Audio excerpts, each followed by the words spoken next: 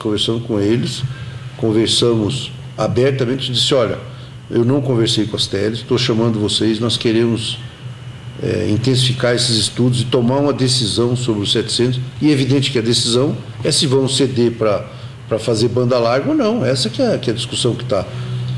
E pedir que eles ajudassem. O problema é que a Folha ficou sabendo que teve uma reunião, foi atrás, é, alguém falou que era isso, eu confirmei, falei, não, foi mesmo, estamos querendo fazer.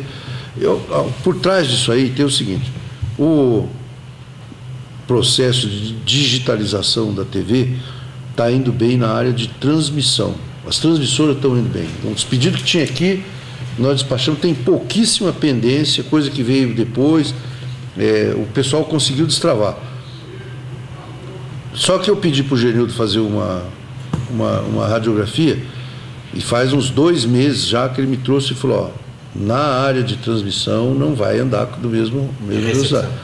De retransmissão, o cara recebe e retransmite. As torres que tem aí no interior com ah. antena, tudo. Ele falou, não vai andar com a mesma velocidade. Né? Cá entre nós, nós achamos assim, que o pessoal vai fazer corpo mole nisso aí. Porque, é, primeiro, os mercados aparentemente não são tão atraentes, né, do ponto de vista econômico, comercial. Segundo, é, uma coisa que eu não sabia, eu sabia porque eu já vi isso no interior, que tem um número enorme de retransmissores que são das prefeituras. Eu morei em cidade que não tinha, ah, vai ter Copa do Mundo, não, não pega televisão. O pessoal já estava querendo correr com o prefeito da cidade. O prefeito foi lá, botou, botou uma torre lá e pôs antena, pôs uma retransmissão e não sei nem se comunicou para alguém, fez e está funcionando. Então, isso, é, eu sabia que tinha esse fenômeno, mas tem duas coisas que apareceram aqui, que o Gerildo veio me mostrar. Primeiro, que é muito grande o número, muito grande, umas duas, três mil no Brasil.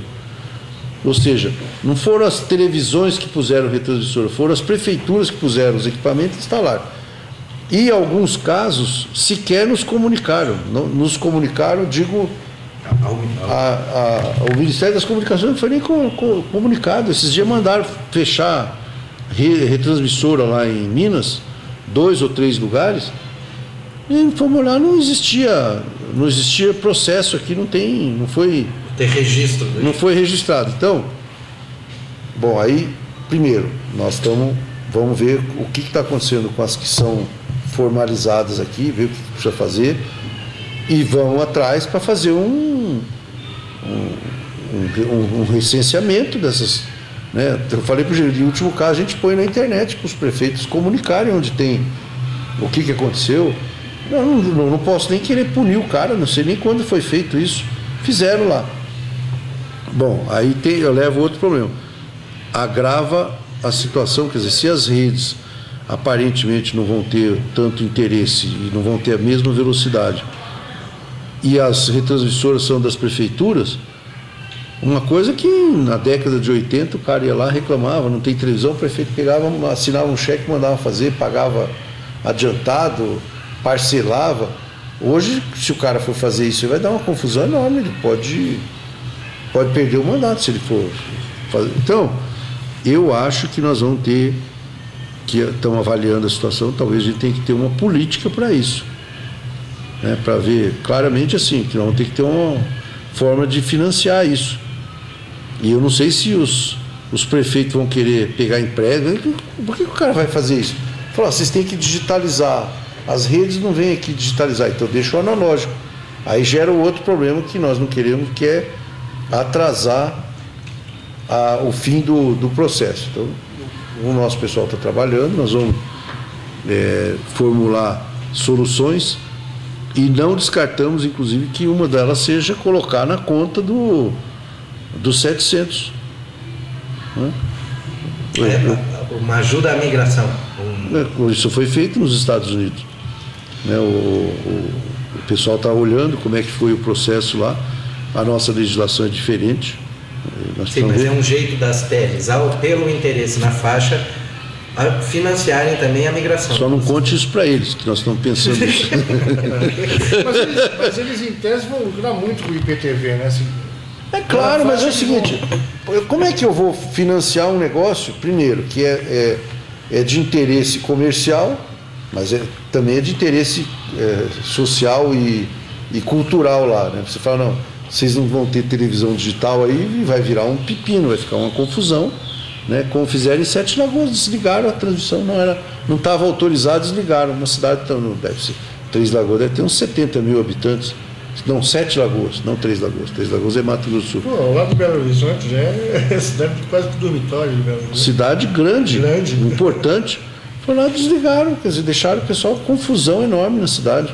Então veja bem, eu pedi para o Genildo, ele está fazendo os levantamentos, o Max está olhando também. Uma das coisas que nós estamos pensando é fazer isso, vamos colocar isso na conta. Mas, claro, tem que ver. Sim, mas e aí, paralelamente, ao já se sinalizar que a gente pode fazer um leilão no ano que vem, imagino que isso também tem uma mensagem para a radiodifusão de que assim, ó, não adianta ficar atrasando o negócio, porque talvez. Não, nós não nós estamos dizendo o seguinte, nós não vamos atrasar, não tem justificativa para isso. Vamos chegar em 2016, por que, que não, não fez a, a migração total? Ah, porque não tem interesse comercial, não tem retorno, não tinha dinheiro, a, a, a retransmissora da, da, da prefeitura, a prefeitura vai dizer mas eu não posso. Como é que eu vou pôr dinheiro? Provavelmente vai dar confusão. Então eu acho que nós temos que. O governo vai equacionar a, a maneira de fazer isso. Como é que nós fazemos? Como é, vou dar incentivo? O que, que nós vamos fazer? Nós vamos ter. Agora, logo após a, o senhor falar sobre isso, comentar sobre isso na imprensa, a BEF soltou uma nota ontem, ontem, ontem, é, dizendo que as teles já têm frequência demais e que fazem de menos. Está cheio de problemas para ter mais uma frequência, para ter mais um problema para fazer. Como é que o senhor avalia essa questão? Eu acho que esse tipo de discussão é normal, entendeu? Ninguém achava que ia ter, ter decisão sem, sem polêmica. E, e por outro lado, nós não, não tomamos decisão ainda. Nós estamos dizendo sim, nós, isso pode ser feito. E chamei-os e falei, sem trocadilho nenhum, abertamente, falei, ó, nós queremos discutir esse assunto, nós estamos fazendo estudo e nós queremos tomar uma decisão. Queremos saber como é que vocês podem ajudar, opinar. Não, não, não mudou nada, apenas o debate virou um debate público. Eu acho que não tem nada de mal nisso aí, não.